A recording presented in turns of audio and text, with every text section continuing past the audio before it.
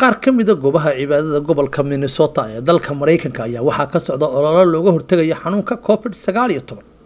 Dhismahan waa masaajidka daarulquba ee dhaca xaafadda sidar ay soomaalidu u badan tahay waxaana casharo iyo tababaro ka bixinayay xilligaas.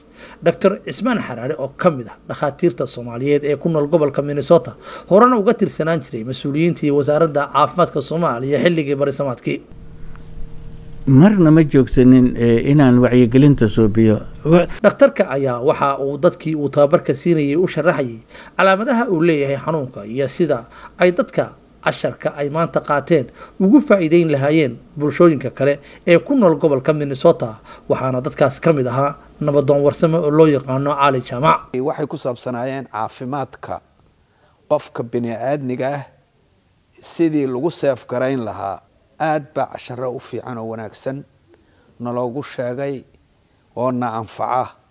Annaguna aanu sii gudbinayso insha allahu oo dad weynaha u sii gudbinayno. Waxaa naloo sheegay gacmaha in aada loo dhaqayo oo lagu dhaqayo saabuun ama shaambo wax adag. In laysu jirsanayo laba laba mitir. Maxaan ku maaskaraha afka in lagu xiraayo.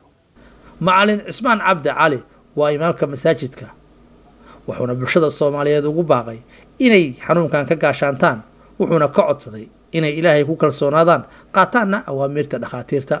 Waa in ay dadku ku baraarugsanaadaan ilaahay baan ku kalsoonahay laakiin waa inaad gaashaamatid asbaabta dadka adibada ama dhakhaatiirta ama cudurkan u cilmila oo macrifada uleh ay soo gudbiyeen waa in talooyinka uu qaato. Qofkii aan qaadan dee horta cid kaleba intaad u aabayeelin lafahaaga baad ka helaysaa una dig lafahaaga. Waa midda aan marar badan anugu aan ku ir dad badan baa inta la kulma iri.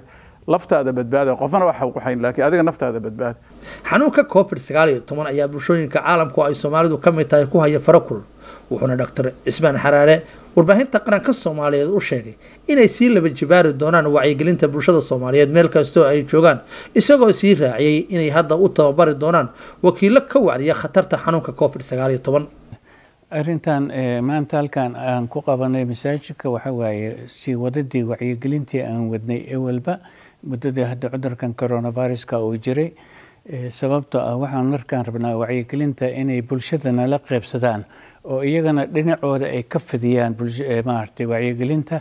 Sidaa darteed ayaan maaragtay masaajidkan khayr alaasiya daaraquma iyo warsameba aan uga mahad celinaynaa inay dadkan kulmiyeen. Talada toosinta iyo tababarada dhakhaatiirta ayaa noqonaysa mid xadida xanuunada faafa ee karonuhu kow ka yahay. Xakiin cabdi ismaaciil warbaahinta qaranka minnesota maraykanka